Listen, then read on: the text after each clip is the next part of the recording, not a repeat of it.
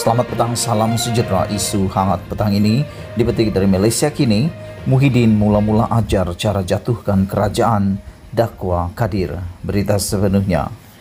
Krisis politik negara yang tidak berkesudahan hari ini, kata E. Kadir Jasin, boleh dianggap bertitik tolak daripada tindakan Presiden Bersatu Muhyiddin Yassin sebelum ini. Mengulas krisis yang berlaku di Melaka sekarang, tokoh wartawan veteran itu berpendapat bekas Perdana Menteri ke-8 itulah yang mengajar cara menjatuhkan sesebuah kerajaan. Menyoroti langkah politik Muhyiddin khususnya selepas PRU 14, katanya, anggota Parlimen Pagoh itu bersama konco-konconya itulah yang memulakan langkah dengan menjatuhkan kerajaan apabila Pakatan Harapan PH ditumbangkan tahun lalu. Dia Muhyiddin pun naik jadi Perdana Menteri. Ahmad Zaid Hamidi, Presiden AMNO, ajar cara jatuhkan ketua kerajaan. Dia dan geng 15 jatuhkan Muhyiddin dengan menarik sokongan balik sokongan. Perdana Menteri dari Bersatu jatuh, Perdana Menteri dari AMNO naik.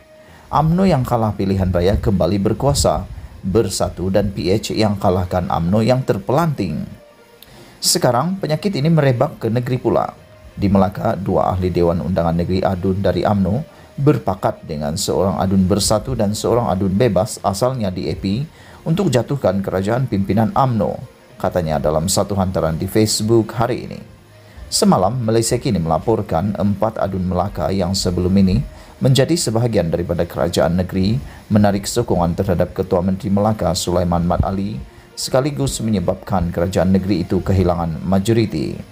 Situasi yang berlaku di Melaka itu menurut Kadir sama seperti Muhyiddin lakukan ketika menjatuhkan Perdana Menteri PH. Macam Muhyiddin dari Bersatu bersekongkol dengan AMNO, PAS dan geng Azmin Ali menjatuhkan Perdana Menteri PH dari Bersatu. Cepat sungguh politikus Melayu Islam belajar perkara tidak baik. Kalau di Perak yang jatuhkan Menteri Besar dari Bersatu ialah AMNO, tapi di Melaka ia sudah sampai peringkat menjatuhkan ketua kerajaan daripada parti yang sama. AMNO jatuhkan AMNO, katanya.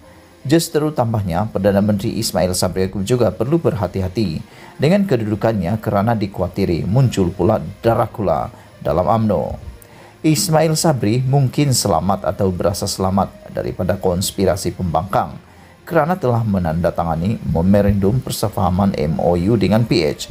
Tapi kena berhati-hati juga takut ada musuh dalam selimut yang ada gunting dalam lipatan di kalangan pemimpin AMNO sendiri silap-silap terpotong tiang seri, ujar Kadir.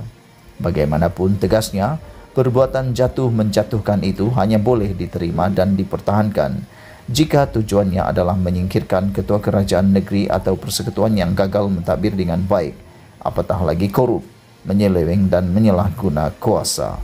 Dipetik daripada Malaysia Kini. Sekian dulu untuk kali ini. Jangan lupa tinggalkan komen anda. Setiap daripada komen anda amatlah dihargai. Malaysia kita punya, kita jaga sama-sama cintai Malaysiaku. Kita jumpa lagi. Bye-bye.